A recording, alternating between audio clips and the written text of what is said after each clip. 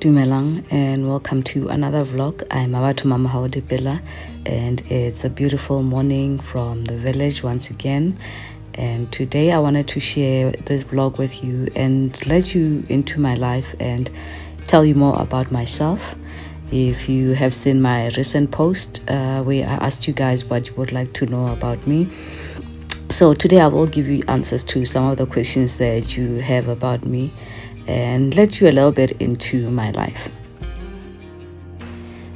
I also invited my mom and my sister to come over for lunch and I have to get some cooking done and just like me my mom is a homebody and spends a lot of time at home so whenever I'm around I like to invite her over to my house just so she can get out of the house and uh, stop doing so much around the house like I do. You know I think I also need to find people that you know will get me out of the house and get me out of my own head but it is hard to get myself to leave the house because I find it weird being out in public spaces and, you know, um, interacting with people. Not that I can't do it, but it takes a little bit of energy out of me to get myself out of the house and go and be with people. And um, it helps to get out of the house sometimes. I also decided to cook some lunch for them uh, because uh, for some reason I just feel like when you have people coming over, you have to feed them. And it's weird sometimes when you go and visit people, and you know, it doesn't matter how long you plan the trip and all of that, and you still get there and you get takeaways. And I don't mind it, but I just feel like uh, it's worth going the extra mile and, you know, cooking something from scratch for either your friends or your family.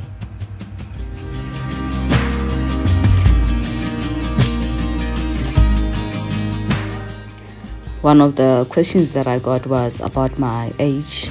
I am 39 years old. I am turning 40 in December. And please don't ask me about my star signs. I do not believe in those, and I believe people who think star signs do work and uh, do exist. I little bit cuckoo. Um, yeah, so I am turning 39 and I am married. I've been married now for eight years and um, I am a mother to a beautiful little girl, Mohau. Mohau is a girl, for those who are wondering. I've got a couple of questions asking whether Mohau is a girl or a boy, but Mohau is a girl. She's turning four next year, so she turned three this year. And yeah. In terms of my education, I studied medical sciences at the University of Limpopo and I also have a postgrad um, degree from Stellenbosch in medicine development. And yes, for the past 14 years, I have worked in the pharmaceutical industry. And for the last 11, I was in the same company. You can call it loyalty or you can call it madness, you decide.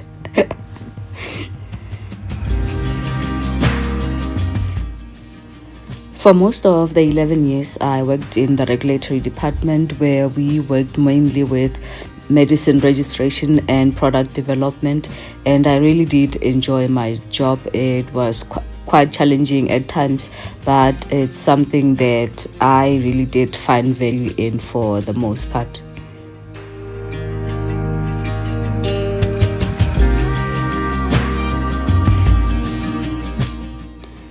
how did I find uh, work life balance while trying to balance motherhood and being a wife and a mother and also working full time? To be honest, there is no such thing as work life balance you have to accept that you will suck at one thing and be good at another. And if there's one thing that i was good at is being a wife and a mother.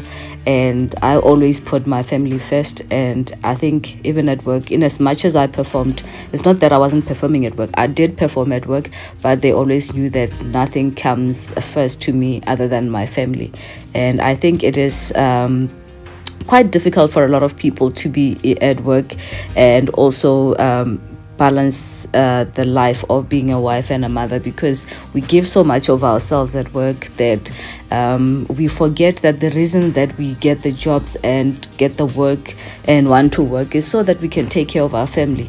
And our family always comes second uh, to our jobs. But for me that is the one thing that i've always made clear at work that if i am ever needed at work at my home uh, for, or to be there for my family my job can wait and my family will always come first. It is not easy being married and being a mother and also working but it also helps to have a partner that understands and uh, that will sort of help you in some of the so-called um, wifely duties um, but at the end of the day as a wife there are a lot of responsibilities that are placed upon you and uh, when you get married those are the things that you know in most cases you don't get told that uh, people are going to have different expectations of you. Be people are going to want a lot and expect a lot from you. And luckily i'm not lazy. I can put in the work. I don't mind uh, waking up early to get stuff done in the house before i went to work. And also late in the day i would also do some things to sort of catch up on um, things that I need to do for my family. So it's always been a pleasure for me being a wife and a mother. And um, I just now um, am starting to feel like this is truly what I was placed on this world to do other than just working full time.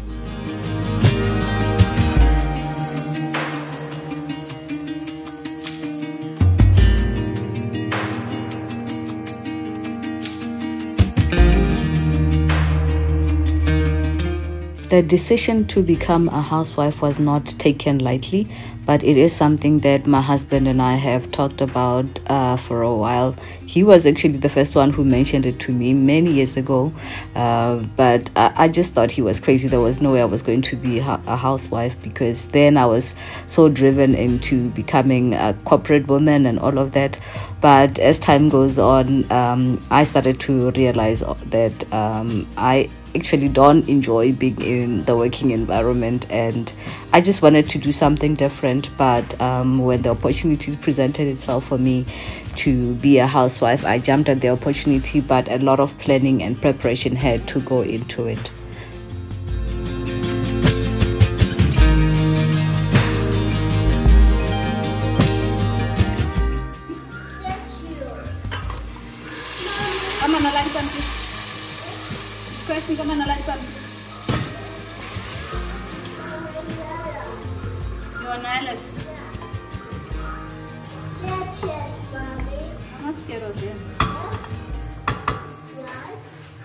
Because they are made of paper.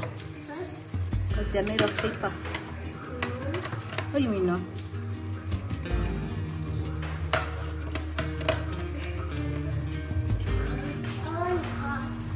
One coffee. Come on, I know. You do?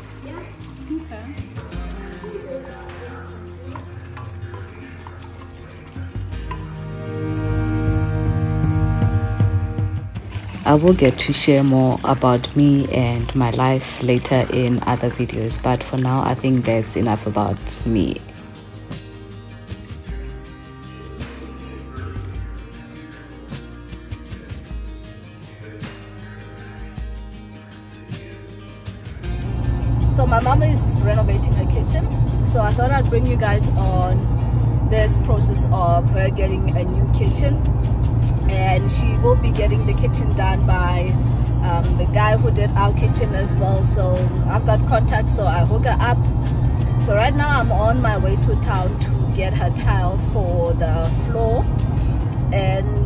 possibly look at options for the wall tiles as well. She's already picked um, well we've already picked the color for the cabinets and we've done the planning of all the changes that we are going to do in the kitchen. So i will do a sit down and um, explain those to you but right now i'm going to get her tiles and what i will do when i get to her house also is show you how the kitchen looks like now and so that when i explain the plans to you it makes sense as to what I mean when it comes to all the changes that we are going to make. It is a very small kitchen and it's a renovation on a budget, a very tight budget at that. So we need new appliances, we need new tiles, um, the ceiling needs to change and a couple of things in terms of layout will also change. So I will take you on that. Maybe it will be maybe two or three episodes on my channel that I will uh, dedicate to the kitchen and yeah it'll probably give you ideas on how you can use your money better in a kitchen if you are on a tight budget. Hopefully you'll get some tips on that and also um, enjoy it.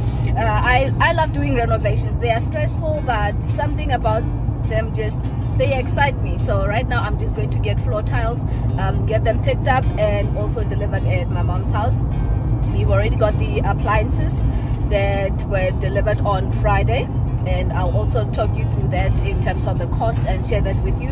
And once we have the final uh, breakdown of uh, the cost in terms of the kitchen when it's completely done I will also share that with you. So I hope you enjoy that and you take a little bit of something away from it. So let's go to town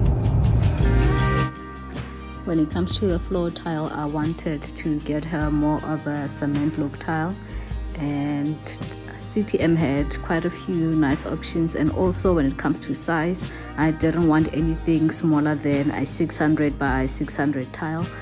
So yeah she also has a tile in the passage that is more of a burgundy color that um, I cannot match that tile and I don't like that tile and it won't go with the kind of um, look we are going for in the kitchen. So I decided to go with more of a cement look tile something that will not clash too much with um, the tile on the passage and also will still complement the cabinet colors that we chose. So i landed on this tile that i thought was quite nice. It's also a 600 by 600 and it was going for 124.90 uh, square meter. So this is what the kitchen looks like right now. Um, you can tell it was renovated in the early 2000s because of the cherry cabinet color. And yeah cherry wood was the in thing then. And she had a maroon tile to complement it. My mom really does love maroon. At one point we had maroon couches and maroon curtains. And yeah it tells a story of the time when this kitchen was done. So yeah there's my mom over there. And yeah we are not changing a lot in the kitchen but the one thing that is definitely going to move is the stove where it's located and the only reason why we are moving it from there is that we are going to create more of a bigger space along that wall where you can have plenty of counter space to work on because currently the counter space that you have is hidden in the corner and it's hard to get anything done in there. And also the sink is going to move and be right on top of the window and not in the corner like that because it's difficult to wash dishes with the sink that is sitting in the corner and the stove will move in this direction now where the blue container is and also that is so that we can access the cylinder closer which is going to be outside for the gas and not have to run a gas line underneath the tiles all the way to the other side or where the stove is. And that is basically the only reason where we are moving the stove is just to make space there and also to allow for space for the microwave which is going to be where the extractor is right now and because right now it's on top of the fridge and we are getting a bigger fridge so it won't be able to be positioned on top of the fridge anymore. So yeah the ceiling is also going to change. We are removing the ceiling tiles and also the flooring is going to change. And we are going to take out these tiles and go for a more of a cement look tile. And yeah you can see how tiny the kitchen is Dumelang, Dumelang. We are back in Joburg now. So I wanted to talk you guys through uh, the color of the kitchen. When it comes to the kitchen, we definitely wanted to get uh, a lighter color, seeing that it's a small space and it's quite dark, also because of the wall tile and the cabinet color. So when it comes to the color of the kitchen, we went with white and a wood accent for the back wall where the stove is going to be. So for the rest of the kitchen it's going to be white and we picked summer white because summer white is not a bright white. It's more of a creamier color of white than um, what is the other one called? I don't know the other name of the white color, but it's like a pure white. Uh, summer white is not pure white; it's a more of a creamy color. And we paired that up with uh, tunari. Tunari is a wood um, color, which is more in the on the deep side. I thought that would work quite well with um, her house considering that she's got um, that burgundy tile that's going in the passage so i didn't want to go with uh, too light of a wood um, on the back or anything that is going to be yellow so tunari is more in uh, the deeper brown uh, color and i thought it would be complemented quite nicely by the creamy white and for the hardware we are going to go with um, more of a slim finish hardware for the doors so it's it's not even going to be visible but it's going to be in a black color um, which can change but for now I, I don't want anything that will overpower the kitchen so it's probably going to be a matte black and for the tap and sink we're going with uh, with an undermount sink and uh, the tap is going to be in a silver and also the sinks are going to be a silver but they're going to be an undermount.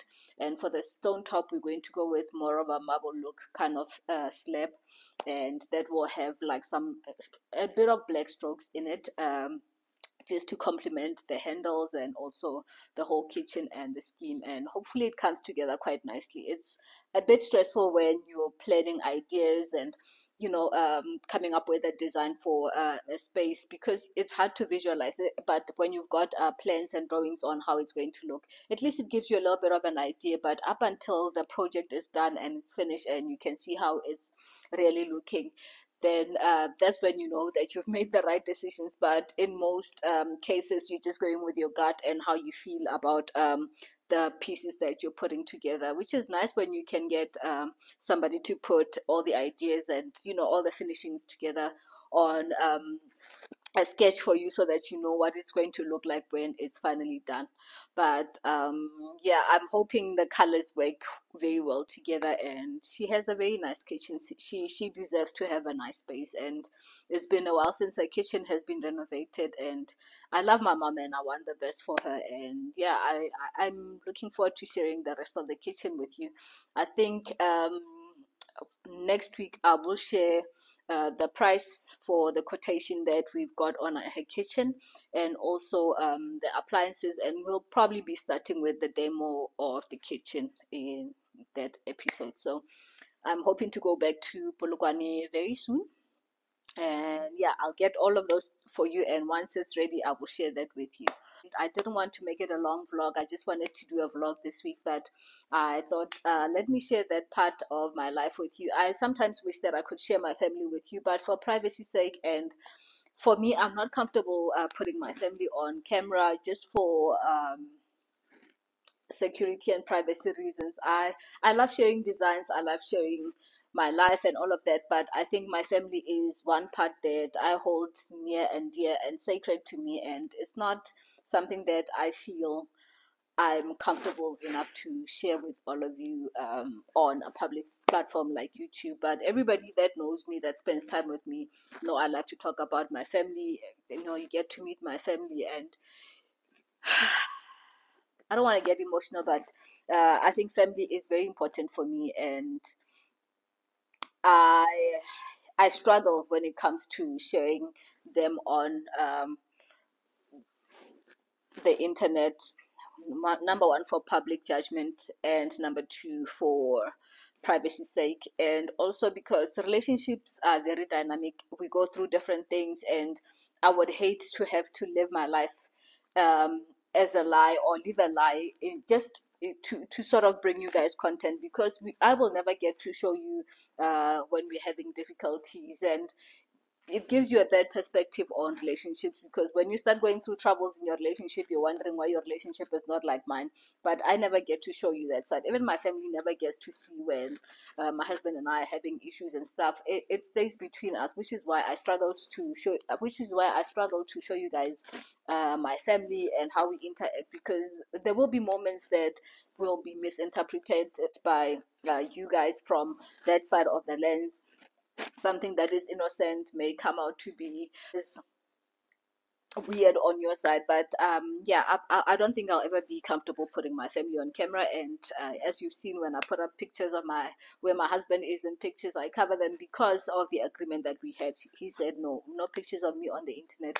And i'm okay with that. And for some it might not be okay.